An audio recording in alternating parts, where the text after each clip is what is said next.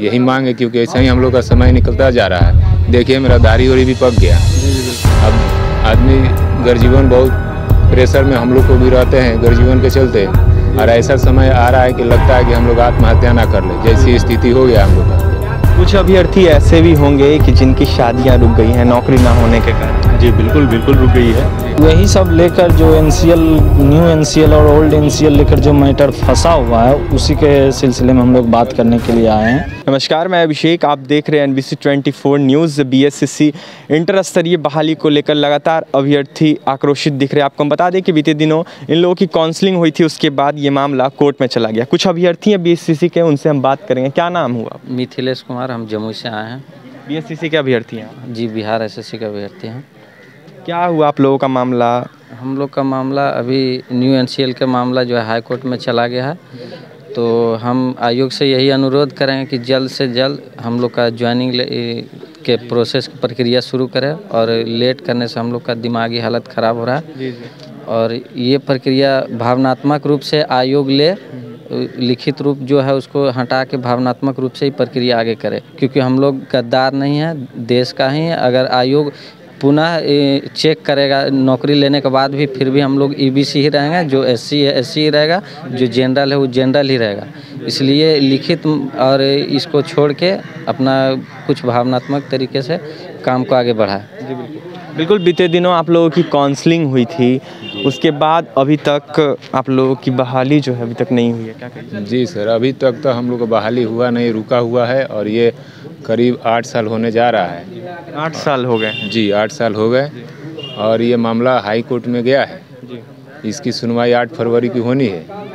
और हम लोग का यही मांग है कि जो एनसीएल मुद्दा है वो कोई बड़ा मुद्दा नहीं है। इसको सरकार को भी समझना चाहिए और आयोग को भी संज्ञान में लेना चाहिए। और ये सब लेते हुए मेरिट बनाए हम लोग का ज्वाइनिंग कराए जल्द से जल्द।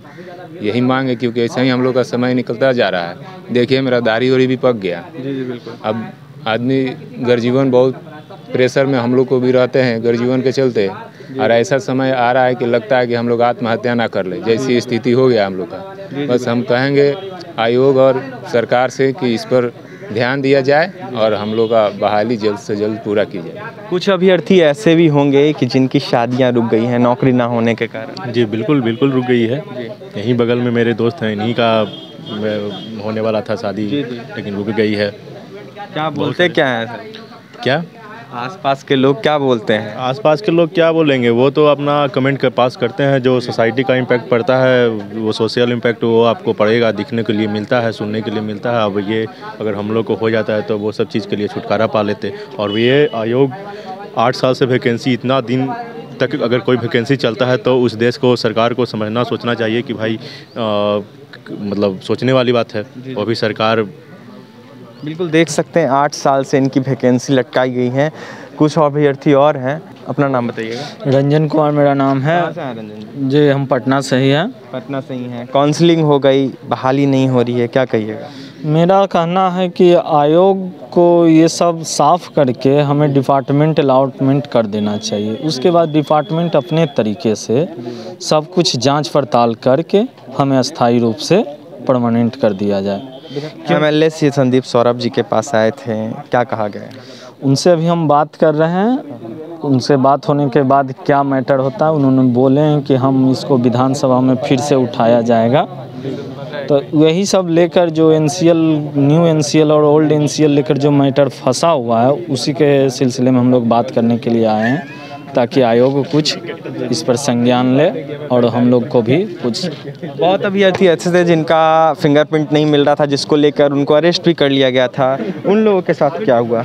उन लोगों की बहाली होगी उनका तो अभी के कोस उन लोगों ने भी केस कर दिया है तो अब पटना हाई कोर्ट अब उस पर क्या संज्ञान लेती है तो ये तो उनका अपना मत होगा। बिल्कुल। इसमें तो हमको कुछ जानकारी नहीं है कि क्या आगे इसका बात हो रहा। है बिल्कुल देख सकते हैं। बीएससी इंटर स्तरीय बहाली निकली थी, बीते दिनों जो अभ्यर्थी थे, उनकी काउंसलिंग हुई थी। आपको हम बता दें कि तेरह हज़ार एक सौ बीस लमसम अभ्यर्थी हैं और काउंसलिंग होने के बाद अभी तक इन लोगों की बहाली जो है, वो रोक दी गई है। कोर्ट में केस चल रहा है देखना ये होगा, इनकी बहाली कब तक होती है? आठ साल हो गए लगातार दर दर भटक रहे हैं, लेकिन ध्यान किसी का इन लोगों पर नहीं जा रहा। और भी तमाम खबरों के लिए बने रहे एन बी के साथ। हमारे चैनल को सब्सक्राइब करें पेज को लाइक करें। बहुत बहुत धन्यवाद।